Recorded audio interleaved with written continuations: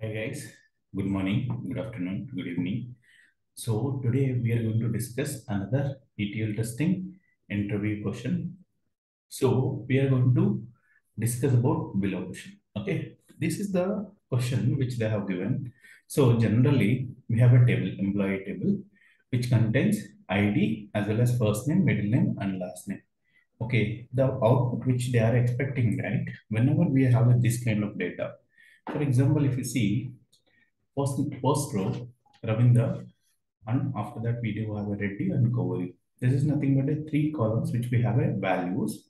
Okay, if you see, we have three values. And after that, first, first name is null and Madhan and Rudrapu. And third row, which you see null value here and here also null value. And last name is having Gadde. And when it comes to fourth row, we see SRTech, ETL testing, and last name is null. Okay. And when we see here Ramesh, null, after first name is Ramesh and middle name and last name is null. Okay, same thing with the Raghu. Okay, Raghu is having first name is Raghu and middle name is null and last name is Gadde. And when it comes to last row, you see first name is null and middle name is big data testing and last name is null. So considering this kind of different, different combinations of data, okay, the output which they are expecting from us, okay, whenever you write the query, they are expecting if the values are there, just go ahead and do the underscore after that concatenate it. First name underscore, here you can see first name is Ravindra underscore Reddy underscore Kovuri. This is the way they are expecting the output. If the value is null is present here, okay, then they are expecting ignore the null value and whatever the value is there, just go ahead and do the underscore. Madhan underscore Rudrapu. When it comes to third row, here you see null value, null value, and after that Gadde is there. Just go ahead and take only Gadde, ignore the null value. Here we don't see any underscore. At the same time, if you see fourth row, SRTech underscore eh, SRTech is ETL testing is the last value is null. So what we are going to do, SRTech underscore ETL testing. We are going to do that. Means it's kind of last value is we are ignoring null. And at the same time, Ramesh. Ramesh is having first name is Ramesh and rest of the columns are null. So considering Ramesh. At the same time, Raghu underscore after that null value is there and Gadde is there. We are going to ignore the null and Raghu underscore Gadde. When it comes to here, last value is null. After that, last name is null. And middle name is big data test. We are going to keep it as this way. So how we are going to write this query in SQL. So the expectations you are clear as well as the even input data also you are clear. How are we going to achieve this? So first try to understand this combinations, how it works first of all. So if you can go ahead and understand this combination, right? First try to understand this combination. If you see here, whenever you have map values, okay, what is the important thing is you are going to do the first name underscore and after that you have to do the last name. First name plus underscore last name plus underscore middle name. You have to concatenate like this. Second combination. Second combination, what is that? You need to ignore the first name, middle name and last name. You have to concatenate it. And third combination here, you need not to do anything concatenation. Directly you populate as last name. When it comes to here, fourth row, you can see here first name and middle name you need to concatenate. And fifth row, you have to just directly populate as first name. And sixth row, what you have to do, first name and last name, you have to concatenate it. And you have to ignore the middle name. And last combination is nothing but a middle name, you have to populate it. So how, we, how can we write this data? How can we write this query in SQL? So by seeing this, do we see it's if else clauses? So if you wanted to perform if else clauses, what is the thing which you have to do? You have to use the case condition. Case condition. First, take these combinations into the SQL developer and then we'll write the SQL. First, we'll take it here. Okay. Then we'll write the SQL. So first we'll query the table first. First, before going to query, first we, we need to create the table, right? Let's go ahead and create the table, whatever the data which we talked about it. Just go ahead and create this data. First, ignore this. Then first create the data. First, create the table. here. Then after that, we are going to insert the data by using insert all. So this particular script is going to be available in the description of the video. Just go ahead and copy paste if you wanted to practice it. And after that, just go ahead and query the table here. Select star from. Here you can see data is available. Whatever we talked about it, we see that. And other than that, additionally, I have added here employee ID column. So now, what is the important thing which we have to do? We have to write the combinations and then we have to go ahead and write the SQL for that. Okay, let's write the SQL for this. Okay, so how can we do that? See, this is these are the combinations which we have to do that. First, select employee ID, EMP ID. Then after that, case condition. Case when, okay, case when first name is not null, is not null. And okay, then second thing is middle name also is not null, is not null. And last name also you need to say, okay, you need to do is not null, which means if the three columns are not null, okay, then what you have to do, you have to perform the below action. What is the action you have to do that? Okay, let's do it. Okay, what is the thing? First name. Okay, first name. Okay, then character operator I'm using pipe symbol to make it easier way. Okay, instead of multi Uh, it's kind of, you know, instead of doing a lot of times concat, concat, it's kind of nested concat. Better we can go with the character operator. And after that, we do have a middle name. Okay, then after that, again pipe symbol underscore this one. And then we are going to use the last name, last name here. Okay, next condition. Immediately, what is the next condition we are going to use? Just go here. Okay. What is the condition? When, okay, just we'll go with the here. Just we'll eliminate these spaces so that we'll understand the combination. When first name is null. Okay. First name is null.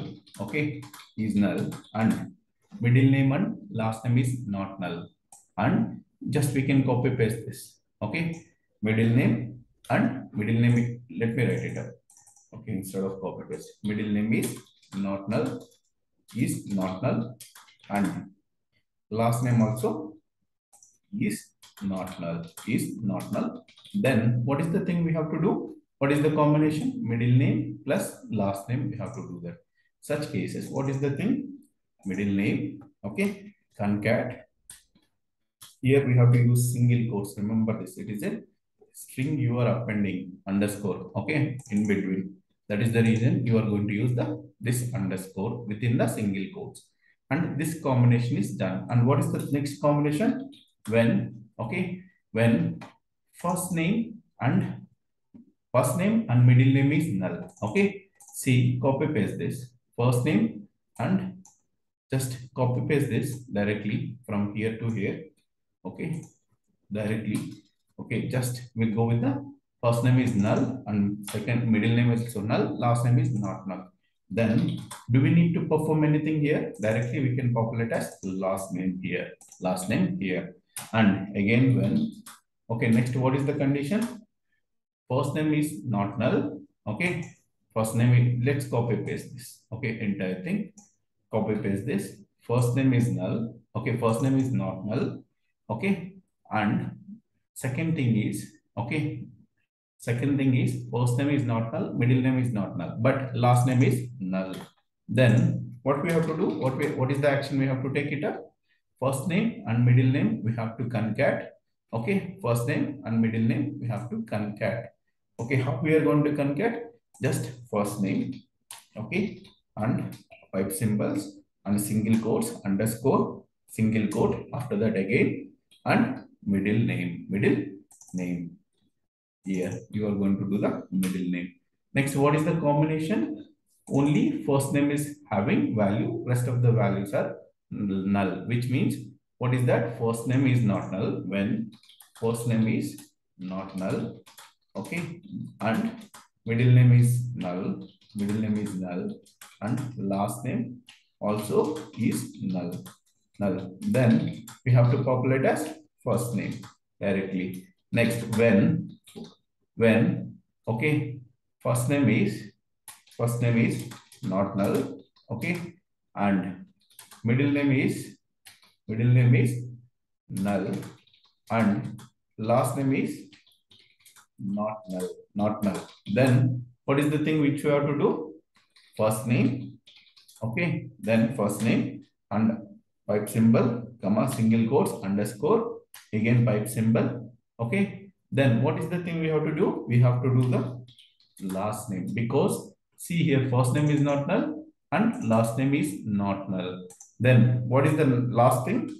Okay, when first name is null, okay, and middle name is not null, middle name is not null, and last name is null.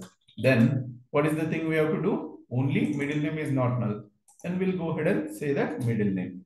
And finally, what we have to do? Else, okay, else NA, okay, null values populated, null values are there. Just populate as null values. Just we can populate as three columns, null values. Just we'll say that null values. Okay, and end as what is the thing is here? We say that full name. We say that full name. From which table? Which table we have created here? What is the table? Employee names. Employee names here. Just go ahead and see here. Go ahead and see the output. Can you see here? Whatever we are expecting here, Ravindra Reddy Kovuri, Madhan Rudrapu Gadde, SR Tech ETL testing, Ramesh, Raghu Gadde, big data testing. See here. Here you can see Ravindra Reddy Kovuri, Madhan Rudrapu, and Gadde. Here you can see whatever the thing which you are expecting, same thing we have done. By what? By using the case condition and we have to form the we have to form the conditions how we have to form based on the number of combinations which is going to come based on that how interviewer is giving according to that you have to think through it and you have to define the combinations then you have to do concatenation. So if i summarize this okay it's a case along with the null value handling case along with the null value. Wherever null is there we are not going to populate that column. If the non-null values are there okay then we are concatenating all the columns. First case first name, middle name, and last name because three values are there. Second case, middle name and last name is having values. Then we are concatenating using underscore. Third case, we are populating only last name because first name and middle name is having values, not val not having values. And when it comes to fourth combination, first name is having value as well as middle name also having value. Then we are concatenating here. When it comes to Fifth case, only first name is having value, rest of the columns are not having values. And sixth case, if you see first name and last name is having values, but middle name is not having. That is the reason we are ignoring that. And the last name, we do have a only middle name is there. So if I summarize this, okay, just to whenever you the interviewer is giving question, right, you have to understand the combinations, how many combinations which is going to come as part of the this particular query. According to that, you have to apply the case condition. Okay. Thank you for watching and subscribing us. And here you see that the, the output. And here you see the query as well. And I'm going to copy paste this input as well as the query, okay, creation of table as well as inserting the data and select query. Along with that, I'm going to even copy paste the SQL as well in the description. If you wanted to do that, you can copy paste and practice in Oracle 11g. Thank you guys. And we are going to start new batch on 8th of October. Please, if you are looking for the ETL testing training, then go ahead and join us demo in the 8th of October with the 8 o'clock morning. Thank you guys. Thank, thanks for watching.